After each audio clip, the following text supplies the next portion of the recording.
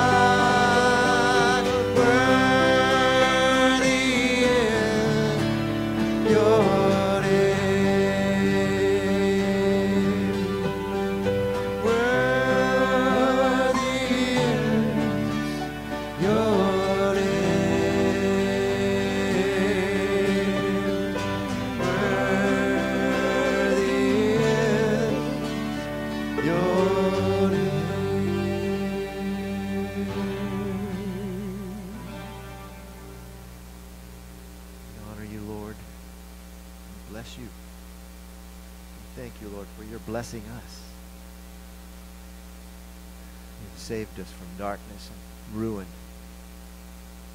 Taken us, put us in a safe place, Lord. Given us hope, future. Regardless of what's going on around us, Lord God, we know that you will never leave us, never forsake us, Lord. We bless you. We bless you, Lord. We don't deserve it. Thank you for your love.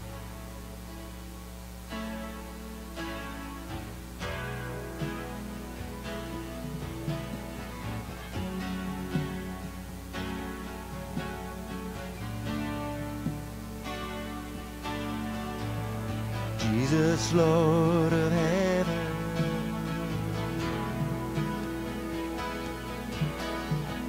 I do not deserve.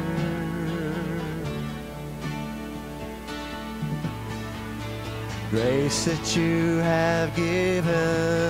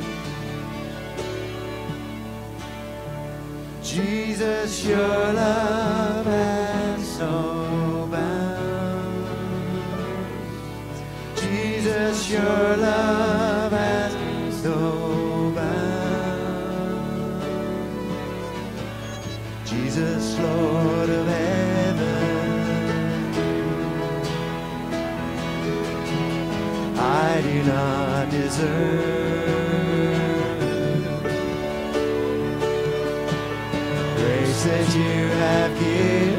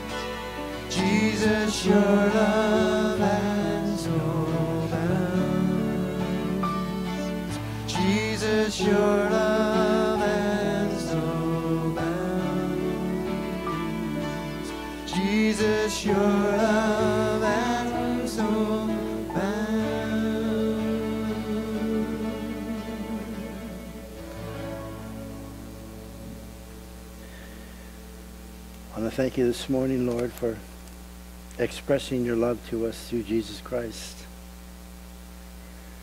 I want to thank you that your love is greater than anything.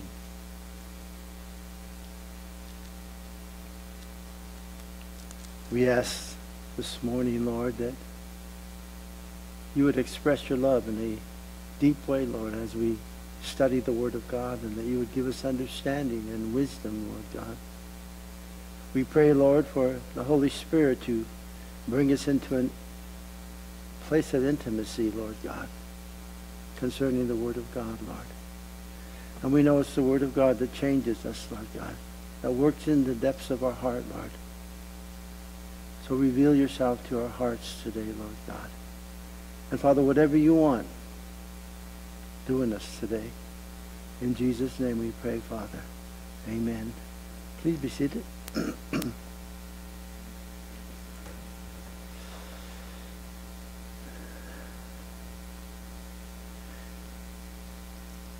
we want to thank those who gave shoes for the victims or the fire victims up in Paradise. We delivered 200, almost 200 pairs of shoes. And when I talked to the pastor up there, he said, we are out of shoes. We need shoes badly. So we were able to give 200 new pairs of shoes to those fire victims, and they were taken right away. So I want to thank you for doing that. Um, also, we have a work day tomorrow at 9 o'clock for the men who want to come down. And if you, ladies, if you want to, we don't really think it's a great idea, only because it's out there in the cold and it's heavy work. And so we'll be cleaning up the new property over here, right, that joins us at 9 o'clock tomorrow if you want to come. So please do it, 9 o'clock tomorrow. If you have your Bibles, turn with me to the book of Luke, chapter 3 this morning.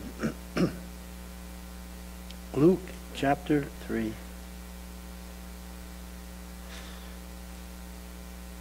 Are you guys tired this morning? You know, I looked at a congregation. I sometimes will uh, look at different people and in the sense of uh, different services. And I was looking at one the other day. In fact, it was yesterday. And as I was looking at the congregation, because they put the camera on the congregation, and it was like, and my thought was this: I sure hope this is not how you are. So let's go to the book of, book of Luke, chapter 3. Continuing in the book of Luke, chapter 3, verse 1 through 14. It says this Now in the 15th year of the reign of Tiberius, Caesar Pontius Pilate, being governor of Judea, Herod being tetrarch of Galilee, his brother Philip, tetrarch of Iturea, and the region of Trachonitis, and Lysanias, tetrarch of Abilene, while Annas and Caiaphas were high priests, the word of God came to John, the son of Zacharias, in the wilderness. And he went into all the regions around the Jordan, preaching a baptism of repentance for the remission of sins. As it is written in the book of the word of Isaiah, the prophet, saying, The voice of one crying in the wilderness, Prepare the way of the Lord, make his path straight. Every valley shall be filled, and every mountain and hill brought low. The crooked place shall be made straight, and the rough ways smooth. And all flesh shall see the salvation of God. Then he said to the multitude that came out to be baptized by him, Brood of vipers, who warned you to flee from the wrath to come? Therefore bear fruit of repentance, and do not begin to say to yourselves, We have Abraham as our father, for I say to you that God is able to raise up the children of Abraham from these stones. And even now the axe is laid to the root of the tree. Therefore, every tree which does not bear good fruit is cut down and thrown into the fire. That the people asked him, saying, What shall we do then? He answered and he said to them, He who has two tunics, let him give to him who has none. And he who has food, let him do likewise. Then the tax collectors also came to be baptized, and he said to him, Teacher, what shall we do? And he said to them, Collect no more than what is appointed for you. Likewise the soldiers asked him, saying, And what shall we do? So he said to them, Do not intimidate anyone or accuse falsely, and be content with your wages. In the last couple of days, I've been kind of contemplating different things concerning what God does and how miraculous Jesus was and the things that he did while he walked the earth. And my thoughts came to a scripture about a man named Jairus. Jairus was a man that he was the head of a synagogue, and he was li- literally in a place of where he was in a religion, in the Jewish religion, and he was you could say, one of the highest people in that place. Not, of course, above the high priest or anything else like that, but he was in a high place. And his father, his daughter became sick.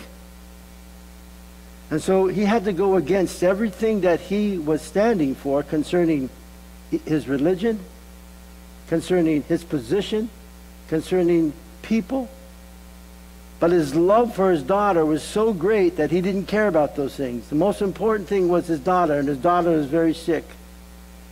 And so what he did is he went to Jesus and he said this to Jesus Jesus, my daughter's sick. Will you come with me and will you heal my daughter?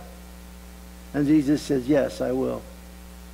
And as Jesus was going to this place of Jairus' house, a lady reached over and grabbed a hem of Jesus' garment, and she said, If I can only touch the hem of his garment, I'll be healed. And the scripture teaches that literally she becomes completely healed. Spending all her money, being totally broke, and being without, she, the last straw is Jesus. And Jesus heals her. And Jesus makes a statement. And though he's amongst all many people, he says, Who touched me? And the disciple said to him, What do you mean, who touched you? Look at the throng among you. And Jesus said, somebody touched me because power went out from me. And the lady said, it was me, it was me. And she got healed. And so Jesus is on his way back and on the way to uh, Jairus' house. And Jairus' servant said, tell the master to forget it because your daughter is dead. And Jesus said, disbelieve. She's only sleeping. And Jesus went and ended up healing her and raising her from the dead. And I thought about that and I thought, you know what? These are miraculous things that nobody can deny who Jesus is, the Messiah. And my thoughts went to a place of where, you know, I, I would really love to see Jesus do those things. And I've seen Jesus do miraculous things in people's lives concerning cancer, concerning people who've been demon possessed. I've seen those things. And they're spectacular. But I believe this morning that God wants to do something supernatural in every single heart, and He does it through the Word of God. something that is more miraculous than even things that we call miracles. And what that is, is a changing of a heart. you see, God wants to speak to you today, and God wants to work in your heart, and God wants to change you. God wants to work in you. And as many people that are here this morning, only God can do that. No pastor can do that. It has to be by the Spirit of God, the Word of God, changing the hearts of God's people. And only God can do that. My point is this. When you get done with this teaching, when we're done with this teaching today, it is God's heart and God's desire for you not to be the same. But you're going to have to respond to what God wants you to know. It's up to you and how you respond. So let's go into this book we call the book of Luke, chapter 3. the last chapter we learned that Jesus was 12 years old and he was about his father's business already. John the Baptist is now, and we see between these chapters about a jump of 18 to 20 years. So between chapter 2 and chapter 3, there's an 18 year difference of 20 years. And now all of a sudden, John the Baptist begins to start his ministry. It has been proclaimed by the book of Isaiah that a man would come and he would do the work of God. He would be a man similar to Elijah.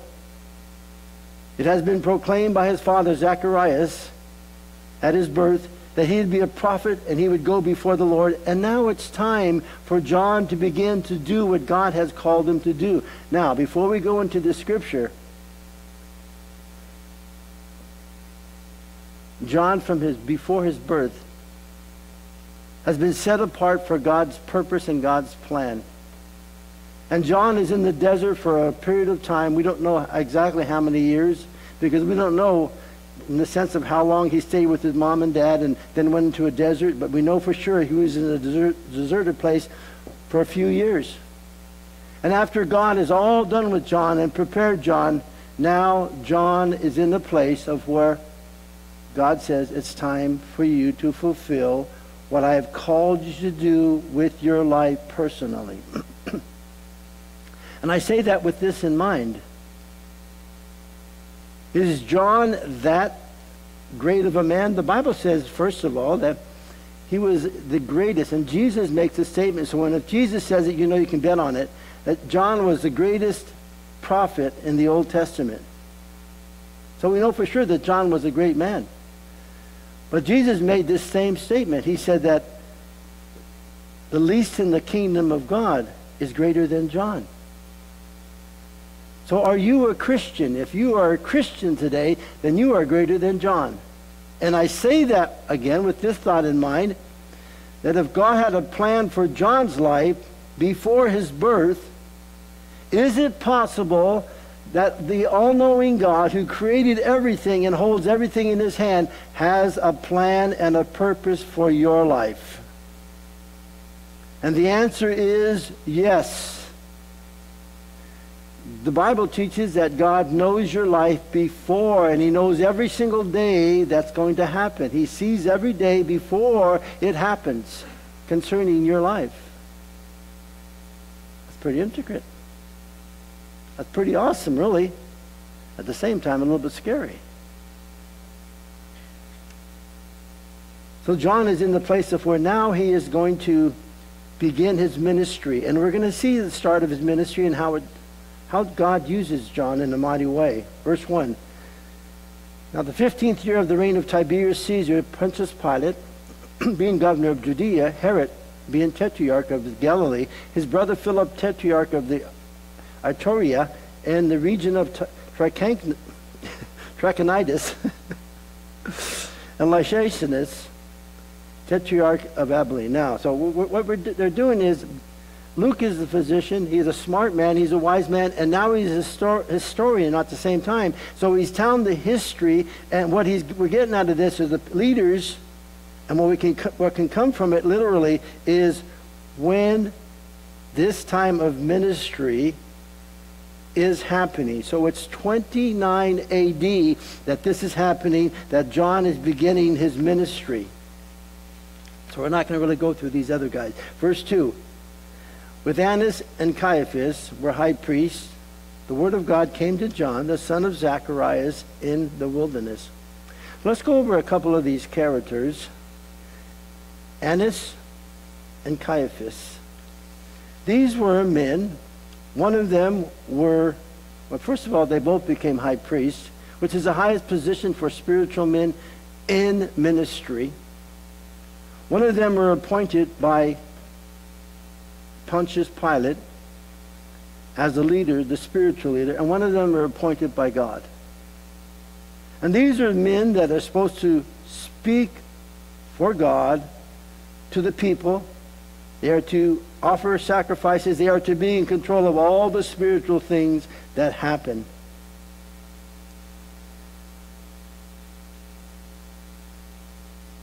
But these men have not heard from God for 400 years. From the time of the book of Malachi until the book of John, you can see that God can't speak to his spiritual leaders because they won't listen.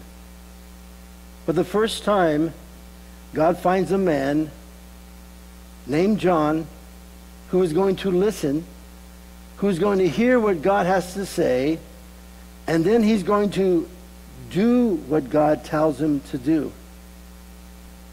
Notice what it says here. The word of the Lord came to John, the son of Zacharias, in the wilderness.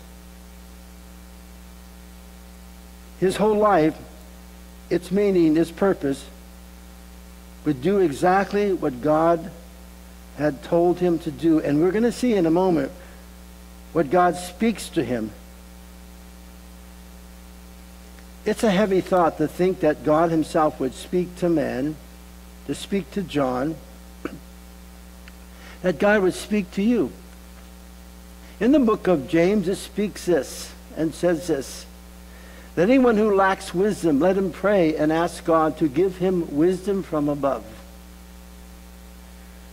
We have a board in our church, and the board makes decisions on different things that we're going to spend money on, where we're going to go, what we're doing on these certain things. And our thoughts are always, okay, God, we want to pray and ask you for wisdom. And we believe that God does give us wisdom, that God shows us exactly what he wants us to do and how he wants to do it. Now, if we didn't believe that God was going to give us wisdom, we shouldn't pray at all. We shouldn't ask God. My point is that God wants to speak to you, that God wants to give you wisdom. If there's something that you want to hear from God, God wants to speak.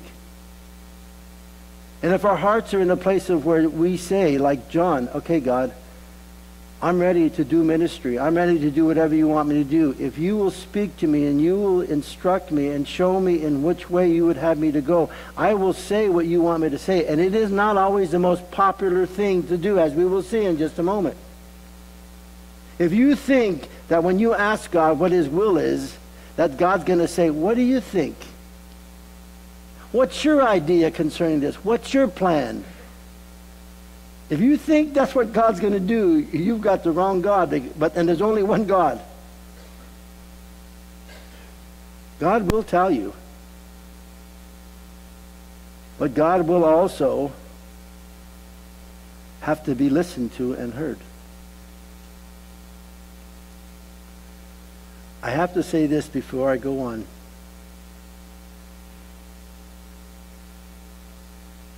It is true that John's time of the desert, in the desert, is over. He will do the will of God, but he has been prepared to do God's will by God, number one. And he has been prepared to do God's will by his parents also.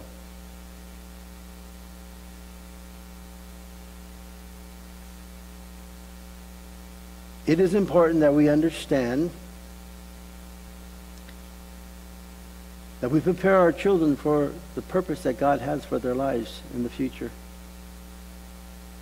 And how we do that is we pray for our children, number one. Number two, we bring our children to church that they may learn about God and his ways. That we, by example, portray the fruits of God and a relationship with God. And that we, by example, serve God, that they also would know that they are to serve God. And that we, by our example, love God, that our children may love God. It is important that we prepare our children for what God has called them to do. God has a calling on every one of your children. God has a plan for every one of your children. And it is our job as Christian parents to teach our children these things. No excuse. You know, I've had parents say this to me. Well, I don't want them to be forced to do something that would not want that they would not want to do it later when they get older. I don't want them to for I don't want to force them to go to church. I don't want to force them to read their Bible. I don't want to force them to pray. I don't want to force them. I don't want to. But we force them to go to school. We force them to learn things that are totally contrary to what God says, but we don't give the antidote for that lie and that deception by telling them and teaching them the truth. That's our responsibility. Now, we're going to see what God speaks to John in the next verses, verse 3 through 6. And he went into all the region around the Jordan.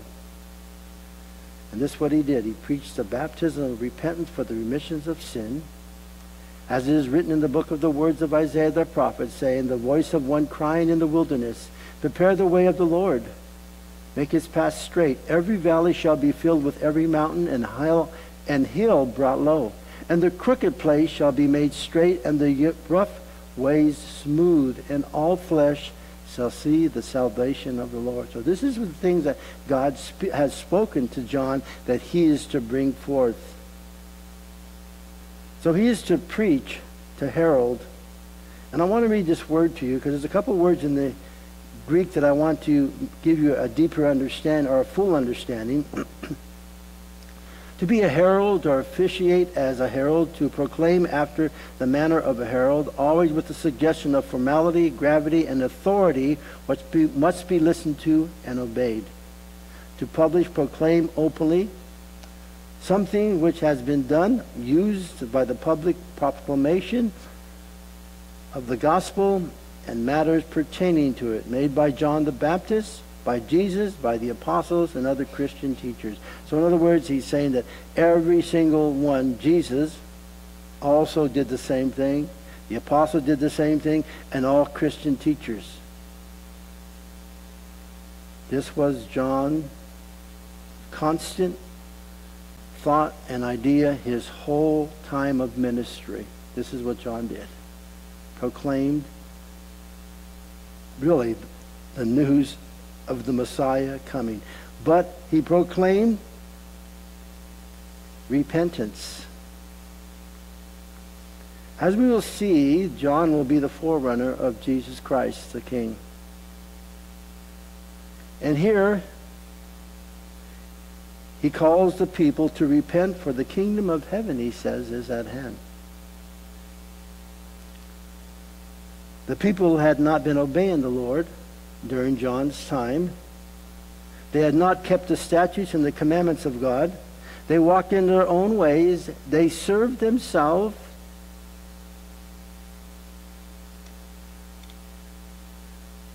And John was trying to prepare them to meet God in the flesh. He was trying to prepare them to meet Jesus Christ, who was going to make himself known in a short period of time. I want you to notice something that's really important, that the command here is personal. And it's something that you must do. The prophet said, prepare to meet your God. And this is exactly what John was trying to do. It was a preparation that was an inward preparation of the heart to meet the king. Beloved, there is a necessary preparation to meet God. John calls this true repentance. Now, I want you to look at me because I. And the reason why I say that you look at me is because I want you to don't want you to be seen by me, but what I want you to do is I want you to be attentive to what God has for you concerning these thoughts. We're talking about repentance now. What is exactly what is repentance? Uh, what does it mean to repent? It is more than just saying you are sorry. Real repentance is being so sorry, so contrite, that you do not repeat the offense again. If a person declares that they have repented of a certain action of sin and they continue in the same action, there is a good reason to doubt the genuineness of repentance. Beloved, for God to work in a life, the first step is a true turning away from sin. And this happens when we encounter the kindness and the goodness of God. As Paul wrote, the goodness of God leads you to repentance. When we realize that God is merciful, gracious, loving, and willing to forgive our transgression, that is when our heart is softened toward repentance. Without true repentance, and listen, there is no real forgiveness. If you have harbored secret sin in your life and you have not genuinely turned away from it, maybe you've just become better at hiding your sin and more carefully about covering your bases. Don't deceive yourself. God knows your heart. He knows your sin, and God will not be mocked. Meditate on the goodness of God. Think about his love for you, his abounding mercy, and his willingness to not only forgive you, but to change your life and to help you conquer the destructive desires. Forsake the sin, turn from it with finality, and receive the forgiveness and the cleansing of God. So, why is it necessary to prepare the way for the Lord? No man can stand before the holy God in a sinful state without being consumed the heart were not prepared for the visitation of the righteous king. I believe that the message John brought forth was relevant for those days. You see, what was happening in this place is that there were gangs, there were people who were in total sin and total rebellion against God and the Word of God. They were a first me generation. They committed crime after crime after crime. They would see victims that needed help and they wouldn't help.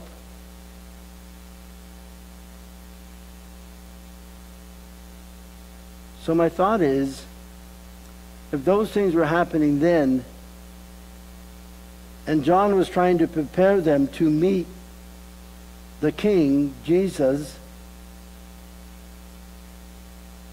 Is it necessary or is there a purpose that we need to have within our heart to prepare us to meet, up, meet the King? I believe that we as Christians need to prepare ourselves more than we ever have concerning to meet the Lord. I believe that every pastor needs to prepare the way for their congregation. I believe that the king is on his way and he will be coming very soon. And if you think that those are just words, you're fooling yourself. There's more lawlessness now than I believe there's ever been. And we see it growing by leaps and bounds.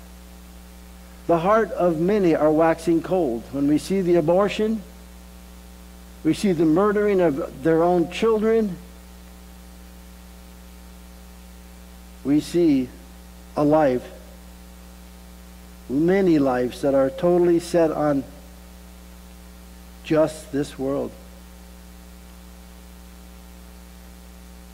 Many of the people in the church today are not prepared to meet God in any way. Should he come today for his church, many people in the church would be left behind concerning the Great Tribulation and would go through the Great Tribulation. The moral condition of the world today is much as the same as it was during John's time. And this is the sad part. The church, so called the church, is almost identical to the same sins of the world today.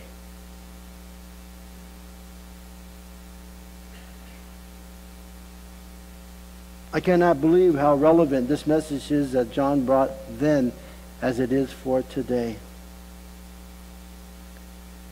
As I listen and study different churches and different pastors and how they're changing their thinking and how they're not calling sin sin anymore and how sin doesn't really separate you from God because I don't believe that's sin, they say. And God says it's sin, and it's always been sin. And since this time of the world, it's now not called sin. God's supposed to say, you know what, then it's not. It's total foolishness. And God himself says there must be repentance. I said to you earlier that this is something that can change and do a miraculous thing in your heart.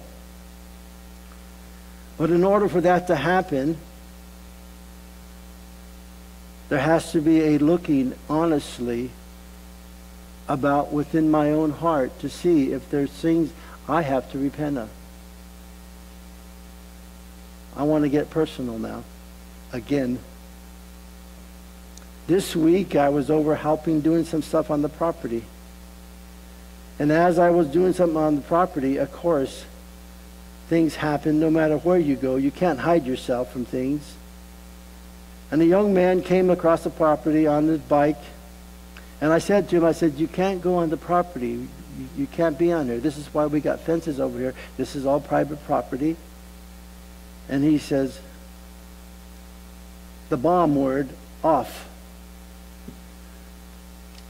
And this is my thought as he's saying this. I'm just kind of like, he's about 17 years old, and I'm thinking, I wish I was no, I wasn't. I was thinking that. Do you know what I'm talking about? Okay, you know how you feel inside when you get a kid that just says something to you and you want to go back in the flesh and you want to grab him by the and uh, and I'm thinking, okay. And so I kept on working the guy through the he threw his bike over the fence, jumped over the fence and you know and when I got home that night, I was thinking about it because, you know, at that point I kept on working the stuff, and I got home at night and I'm thinking about it and thinking about it and thinking about it. And this is what the Lord spoke to me. He said, "You know what? You could have handled that differently." I know I could have grabbed him by no. you could have handled that differently. You could have handled that with a lot more love but he wouldn't have listened, Lord. My point is, I had to be honest with God in the sense of I could have handled it with a lot more love. And so I said, okay, God, I'm sorry. Please forgive me. I was wrong 100%. I shouldn't have done it that way. And God's working in my heart to be unconditional, concerning, loving, no matter who they are, no matter what they say. And I know it has to be a dying to self and denying self, and that's what God's trying to do. But I had to look at things in the sense of, even though I didn't do wrong, was my heart right? And I had to repent, and I had to repent concerning that. And many times, we don't look and be, we're not honest with ourselves concerning what's going on in our hearts, and we're not honest with God in the sense of repenting. I personally believe that every single Christian today needs to repent of something. And, because, and the reason is, in order to meet God the way that you want to meet God, your heart has to be right before God, and we need to repent. I'm still repenting from things I did 100 years, 100 years ago. I'm not that old, I promise. It just seems like 100 years ago. 30 years ago, I'm still repenting of things that I, that I did 30 years ago or 40 years ago. My point is, the body of Christ needs to repent. It doesn't mean you're in total sin. It doesn't mean that. God's worked in your heart and done a lot of wonderful things. Why does God want us to repent? Because things that are between us and God hurt our fellowship with God. Sin always does destruction. It always takes us away from God. It causes pain. Here's what the scripture says in Proverbs. There's a way that seems right to man, sin, but it leads to the road of destruction. That's the truth of it. Now, John says here, for the remission of sins. Repentance for the remission of sins. Let me read that word to you, remission. Release from bondage or imprisonment, forgiveness or pardon of sin, letting them go as if they never had been committed, the remission of the penalty. So in order for remission to happen, the Bible teaches that there must be repentance. You know, uh, when I first became a Christian, this is what I was told. Just confess, God will forgive you no matter what. And it's true partly. If I confess, it's true that God will forgive me. But along with that goes that big R word repentance. Period. It is God's heart to forgive man's sin. And that's why he sent Jesus. It's not a sin that God will not forget a, forgive a Christian. I want to read a scripture to you, and this is David speaking of this. And he says about his forgiveness and what was going on in his heart concerning his sin. Listen to what it says in Psalms 32. Blessed is he whose transgression is forgiven, whose sin is covered. Blessed is a man whose spirit there is no deceit. While I kept silent, my bones grew old through my groaning. All the day long, for day and night your hand was heavy upon me. My vitality was turned into the drought of summer. Selah. I acknowledged my sin to you, O Lord, and my iniquity I have not hidden. I said, I will confess my transgression to the Lord, and you forgave the iniquity of my sin.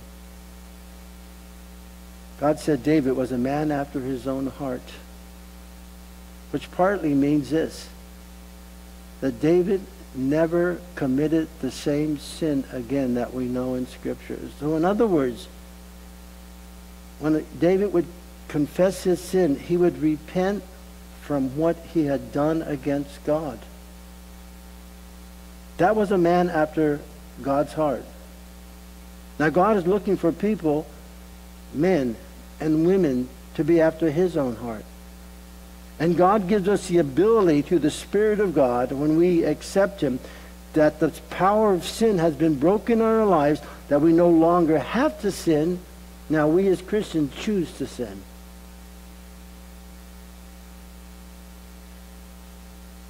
And David's sin was a great sin. It was no easy sin that led to another sin. His sin of adultery led to murder and God forgave him.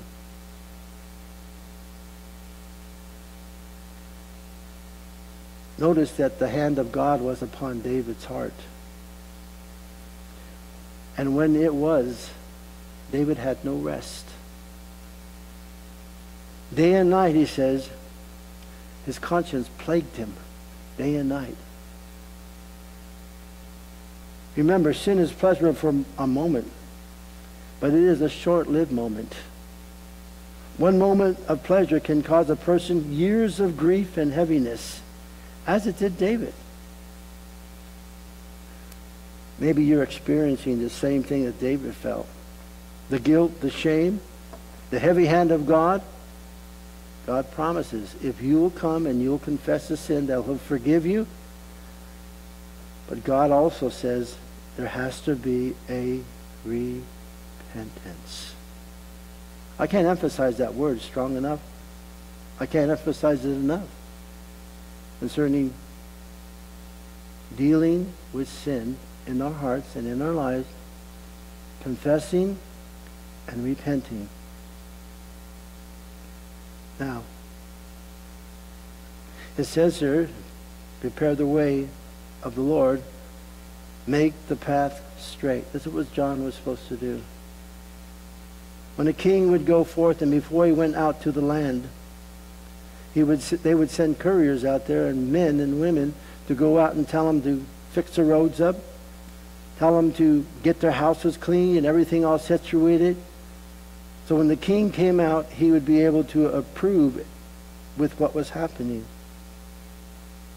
And how did they prepare that? The Bible says here that they made their path straight.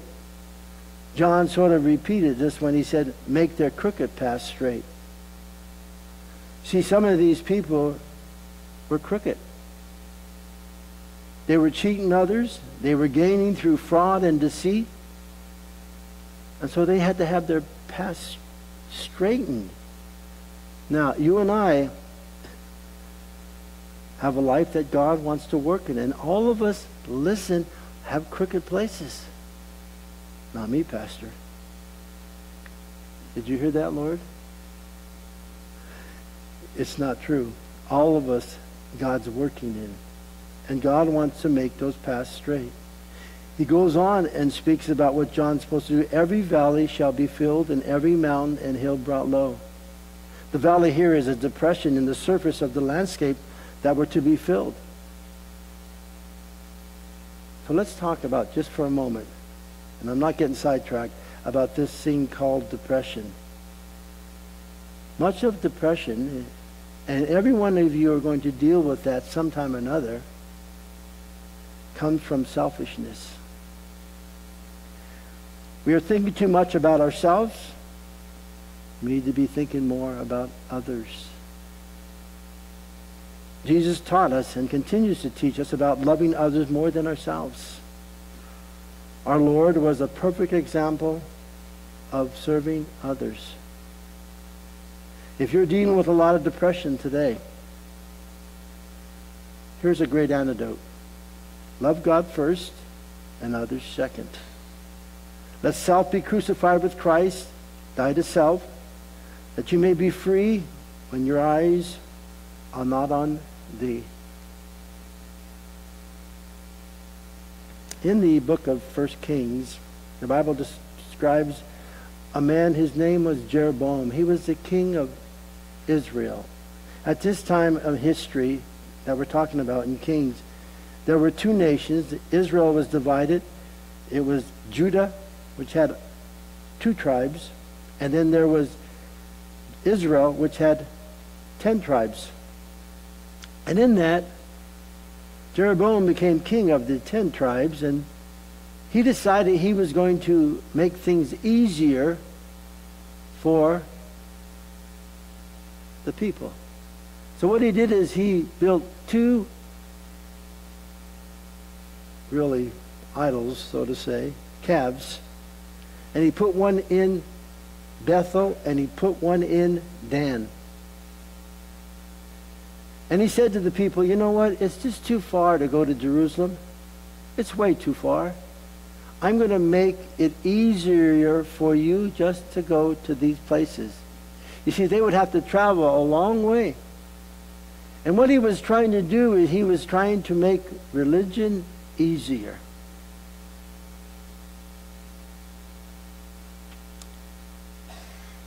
The relationship we have with God on God's part is everything that we need for life and for godliness.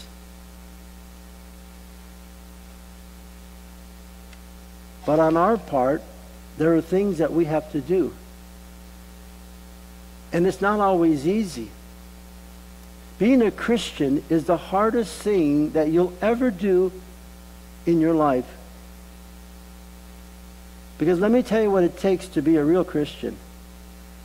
It takes this to deny yourself, take up your cross, and to follow Christ. It's not easy religion. Anyone who says to you, you know what, you just need to come to church. That's all you need. Nothing else matters. You come to church. You just need to read your Bible whenever you get a chance. And whenever you feel like it and something's happening in your life, pray. And then live your life just normal. Everything else, just let it flow. It's, if you've been a Christian for a period of time, you, that's kind of foolishness, isn't it?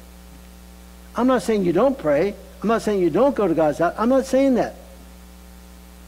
But how many times do you have to deny yourself? A lot of times you have to say, no, I'm not doing that. No, I'm not going there. No, I'm not dealing with that. No, no, no. And yourself says you on a continual basis, doesn't it? Yourself, hey man, it's okay. You, you know, you deserve this. It's okay if you do this. You know, God will forgive you. It don't matter. You know, it's not going to. I'm always fighting with me, my old nature. I hate that old man, and I hate the way he is. And if you don't hate that old man, you're going to be in trouble. You're going to listen to him, and he's not a wise person. You see, Christianity, true Christianity, is a walk and it's a dying to self on a regular basis. Paul didn't give us a scripture in Galatians 2:20 just for the fun of it. This is what Paul said. I I I me put your name in there. I'm crucified with Christ. Nevertheless I live, but not I. Not I again. But Christ in me.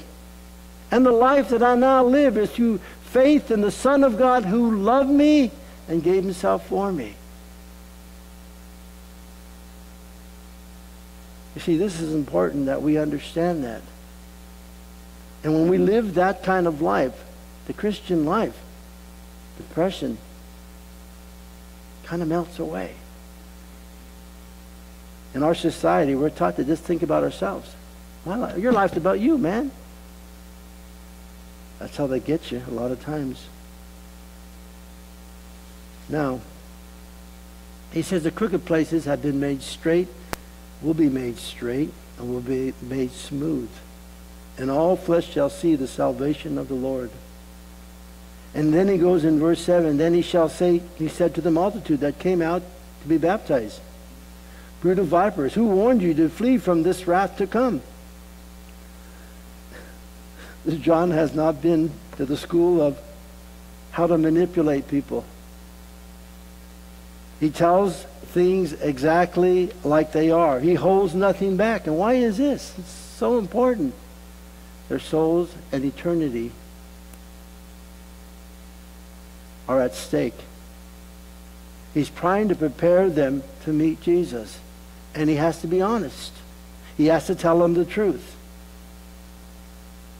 Now, couldn't John have done that with a little bit more love? You know, it is important that we as Christians always tell people in love, but the Bible teaches that we to always tell them the truth. And the truth is not always easy. How many like to tell their children the truth in the sense of it's going to start a controversy? Or how many to like to tell their wives or their husbands the truth when you know it's going to cause a problem? You see, as Christians, the Bible teaches that we are always to tell them the truth because the truth will always set them free. And that's what John does. Yes, it's always supposed to be done with love. Listen to what he has to tell them. He warns them to flee from the wrath to come. These people already know what's happening. It's in them.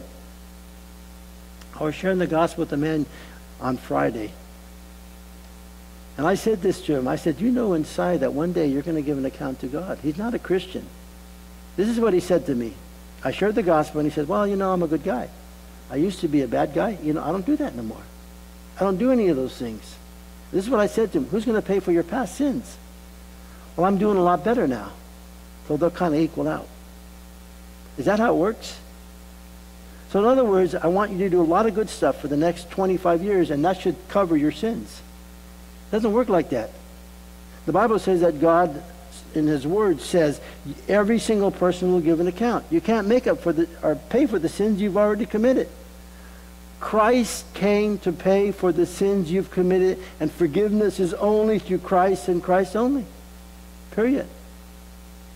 A man will enter into heaven, or a woman will enter into heaven, or a child will enter into heaven because of Jesus and what he's done on the cross, and that's the only way to heaven. But he warns them about the wrath. There's a wrath coming. There's an accountability. Let's look at that for one moment. Again. The Bible teaches that every man will stand before God and give an account for their sins. Non-Christian. Non-Christian. People who reject Christ, they'll stand before God and they'll be judged and condemned, the Bible teaches. Because no one paid for their sins, even though Jesus did. They didn't receive the payment. But then there's another one as a Christian. The Bible says, You will not be judged for your sins. You will not be given account for your sins, but you'll give an account for the gifts and the talents that God has given you. That's called the Bema Seat judgment. So it is important that we understand this concerning why John is saying this. He's not just being, I'm going to be mean. I, I'm, he isn't doing that. He's telling them because he knows that the Messiah is coming. Time is short, and he's trying to prepare them. And in the moment, you're going to see they totally respond to it. Now, look at me for a second. How do you respond to things that are hard? How do you respond? In our nature, this is what we can say. You know what? I would have probably listened to what Pastor had to say this morning, but you know what? I didn't like the way he said that. No, he, he didn't he didn't put it the way I think he should have put it. So I'm just going to null and void it. That's foolishness. It's not what it's not how I'm putting it forth. It's what I'm saying, the contents of what is being said. It's so important. Now listen to what John says. And so he says to these people, therefore, bear fruit worthy of repentance, and do not begin to say to yourself, we are Abraham's as our father. We have Abraham as our father. For I say to you that God is able to raise up children to Abraham from these stones. And John really lays it on the, uh, on the line. He says, therefore, bear fruit of repentance. There are a lot of people who have a false sense of security, beloved of knowing God who are not living the way that they should. Jesus said, Why do you call me Lord, Lord, and do not do the things which I say? Beloved, which do you think God is more interested in, profession or practice? John the Baptist says, here to bear fruit worthy of repentance. In other words, let your life be consistent with your words. Okay, look at me again. If you're a Christian, raise your hand and you call yourself a Christian. Raise your hand. I'm a Christian too. Don't be ashamed of it. Be proud that you're a Christian. But I say this does your life reflect being a Christian? Is there fruit that comes out of your life that says, I'm a Christian when I'm at work, when I'm at play, when I'm at school, during the day, or whatever it may be? When I'm in my home and I'm the only one there, are my husband with me, are my wife with me, are my children? Am I a Christian? Am I bearing fruit in what the Bible teaches concerning what I say I am? What I watch on television, am I a Christian? Where I go, am I a Christian? Who I hang around with is so important it is one thing to know God, and it's quite another to know about God.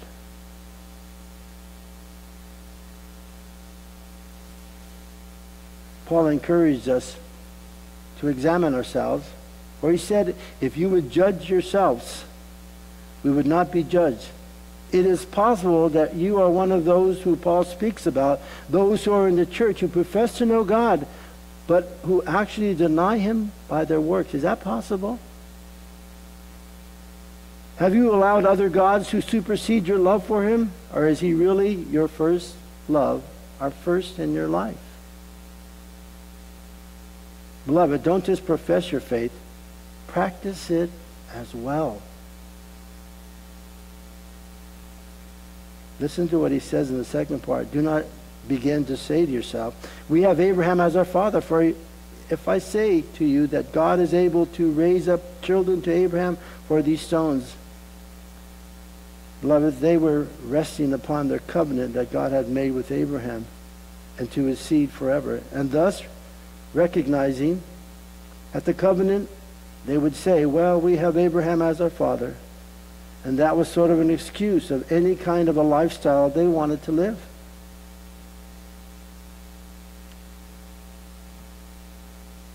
You see, the Bible teaches that our lives are to reflect what we believe. And even these descendants of Abraham, John the Baptist said, uh-uh.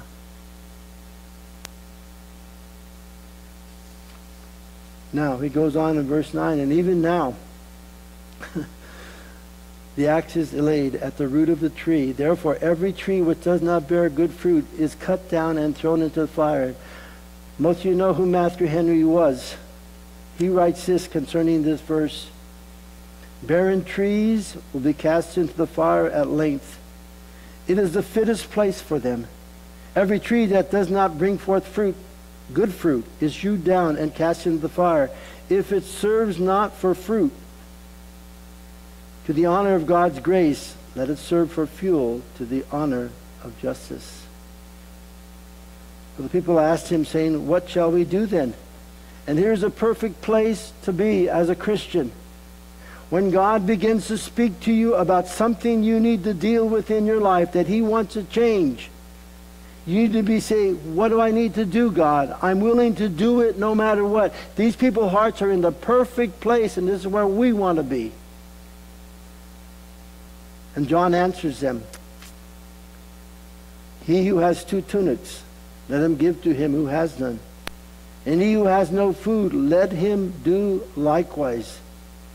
In other words, he said, start thinking about others and helping the needs of others. Start caring about others, not just yourself and what you need.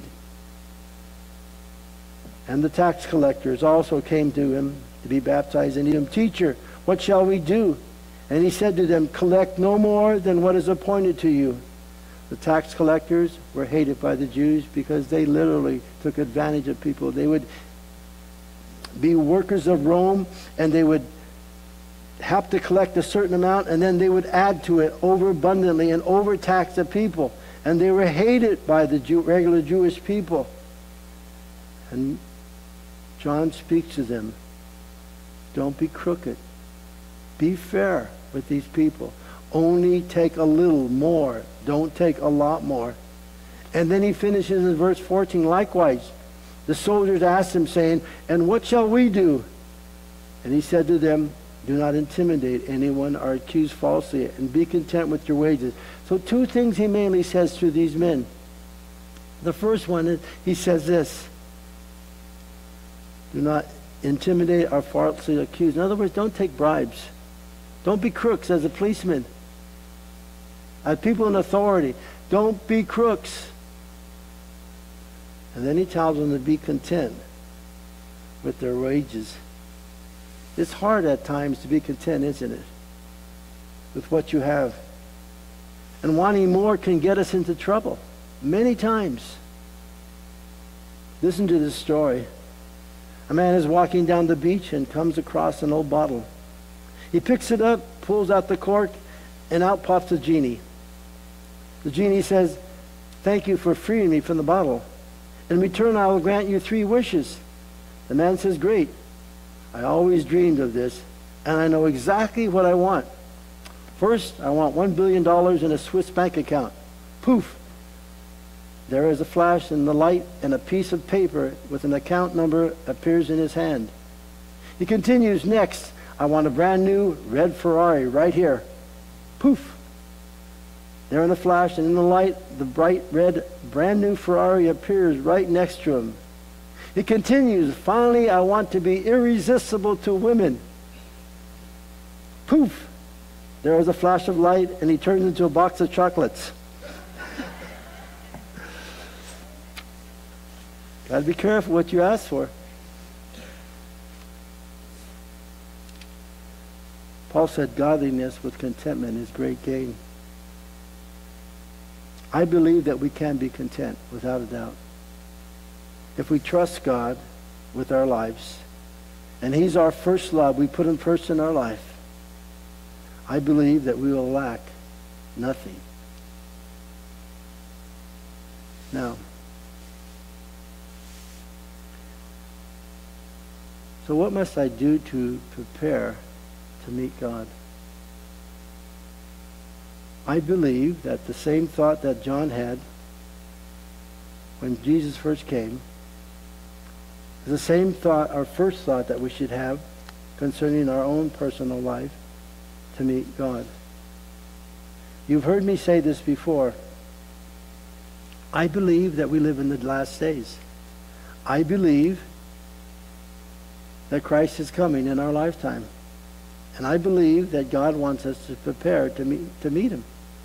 And I believe that the first thing he, we have to deal with is his own heart. And that comes by being honest with God. That comes by saying, okay, Lord, is there anything within me that would hinder my relationship with you, anything within me that I need to repent of?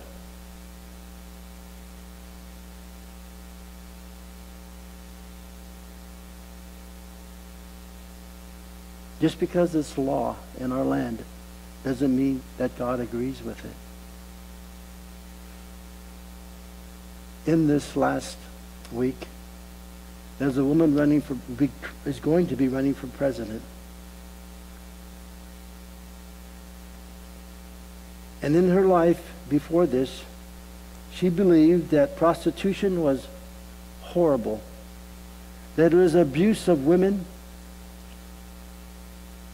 that it would cause more problems than ever before. But because she's running for president and she's trying to get more votes, she made the statement this week that she, if she becomes president, prostitution is going to be legalized in the whole United States in every state, every county. I'm not shocked at all. But what if it is legal, 100%? Well, if it's legal, then I guess it's okay, right? If abortion's legal, I guess it's okay. If pornography is legal, I guess it's okay. If it, child pornography is legal, I guess it's okay. And it goes on and on and on. All these things, God calls them sin. All of them. And they hurt our relationship with God, and they make us unprepared for what God says making us ready to meet him. So I say this within mind. You know what sin is. Not what people say it is or what the world says it is.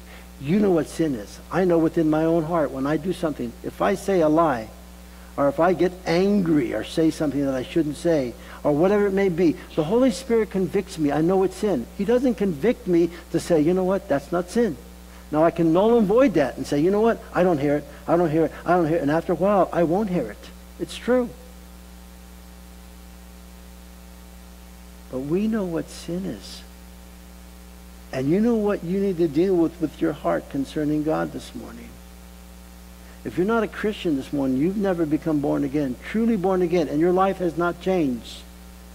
And the first thing you need to do is repent and accept Christ as your Lord and Savior because the Holy Spirit is working in you to become born again. If not, you're pushing him away. And you ain't going to be ready to meet God. And if you're a Christian today, it'd be a sad thing because there are people who believe this. I don't know where I stand on this one.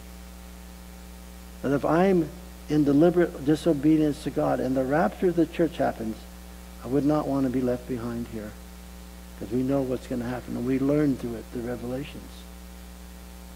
My point is, get serious concerning anything you need to repent of. Anything that you've been playing with.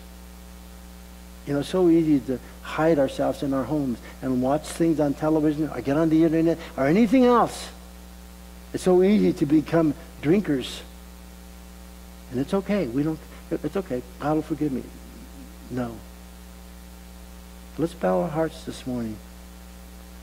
I told you when I first began this, I believe the most miraculous thing that happens is a changed heart. And I believe that God wants to do that today, but it comes literally. on our part of responding and confessing and repenting. Father, first of all, we want to thank you for the Word of God. We want to thank you for the Word of God. And Father, we know that your Word is the truth, Lord God. And we know that the truth sets us free. So we ask, God, that you'd reveal to us this morning anything, Father, that we have, we lack. That, Father, we choose contrary to you, Lord.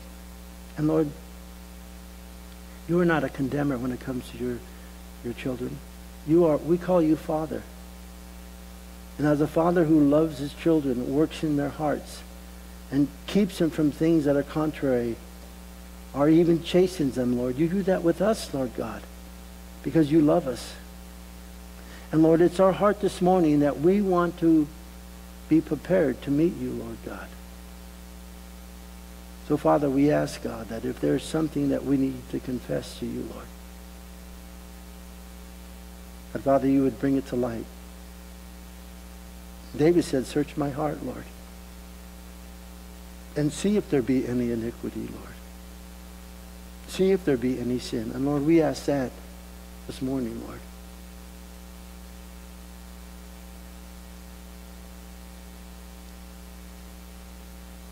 And Father, as we learned this morning, first point is confession, admission, Lord. The second point, Lord, is, is repentance, Lord. Father, not just feeling sorry or feeling, Father, contrite, Lord, but feeling, Father, broken. And Father, turning away. Father, you know what we're doing. We know what we've done already, Lord God. And you're willing to forgive. But you're also, Father, give us the power to turn away from that, Lord, by the Holy Spirit. So, Father, break any bondages, Lord God, that we would, that sin would have in us, Lord God, that we may walk as freedom and free, Lord God, that you may bear the fruit in our hearts and in our lives, Lord, that only you can by the Holy Spirit, God. And Father, change every heart this morning, God. Prepare every heart this morning, God. Make those paths straight that are crooked, Lord God. And now, Lord, we want to thank you, God, for your forgiveness. Want to thank you for the breaking of things, Lord God, that need to be broken, and the freedom that we experience through Christ. Bear fruit through each one of us, Lord, in our lives. And continue that great work of preparation that only you can do by the Spirit and the Word of God. In Jesus' name we pray, Father. Amen. Let us stand this morning. If you need prayer, there'll be people up here. Let, let me say this before you take we take off and dismiss you. I'll be oh Dave's up here. Okay, good. We encourage you to come up and kneel before the Lord this morning. They'll be doing some worship songs two or three times, two or three songs. And we encourage you to come up and kneel and pray and talk to the Lord. Now is a good time to do that. Now is a good time to be intimate with God. And if you need to weep before God, weep before God. Whatever you need to do, do it. Don't let pride or anything else stop you from yielding your heart to God this morning. And let God continue to work in you. May God richly bless you. May you continue to know your God in a greater and greater way every time and every day you spend time with him. May God work like only God can work. And may you be prepared to meet the Lord. We're going to sing a couple songs to dismiss. God bless you. Have a wonderful day.